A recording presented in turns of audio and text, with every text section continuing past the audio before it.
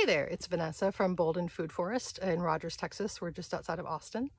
Uh, we have five caterpillar tunnels on our property and we built them all by hand so they didn't have any kind of a kit or anything like that. And I was trying to come up with a good way to do end walls. And uh, to buy an end wall is about $800, which is a little too expensive for small farmers. But uh, I wanted to come up with an idea to have ventilation and uh, keep everything nice and warm when it gets cold outside. So here are my ideas and I hope they work and I hope they work for you. My idea was to use a product called Zip Wall. It's something that painters use uh, to put in a piece of plastic to separate rooms when they're working on a project that would have a lot of debris. Uh, and I thought, what a great way to put a door into an end wall. So this is uh, two zip wall zippers. Uh, and then the black you see is Gorilla Tape. I use that. It's the uh, high UV waterproof Gorilla Tape to hold down the zippers just a little bit better.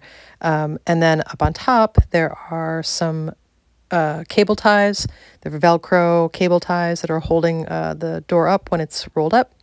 And when you want to roll it down, just pull those down, zip it down, and it's nice and closed.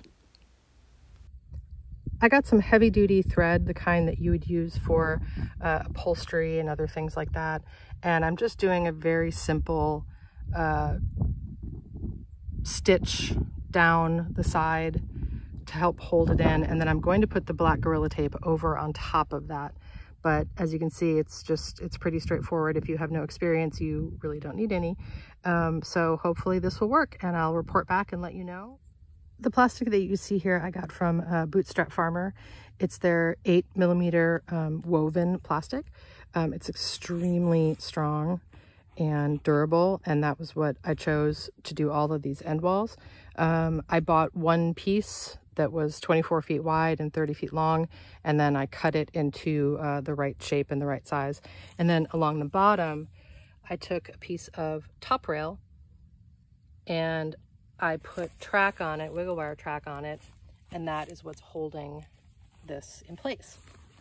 So it's worked very well so far and uh, is cheap alternative to hat channel, which is uh, extremely expensive.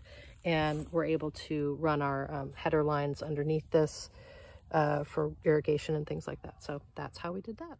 If you do the sewing method, I would recommend getting a product like Goo Gone or something else like that and a shop towel having a little bit on there because the needle gets very, very sticky going through the adhesive on the zip wall. So I have this and I'm just running the needle through it every couple minutes.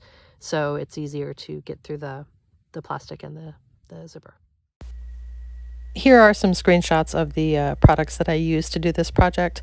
I don't know anything about affiliate links or anything like that, so this is my first YouTube video. And so I just wanted to show you guys what I bought, and if you want to buy it, you can.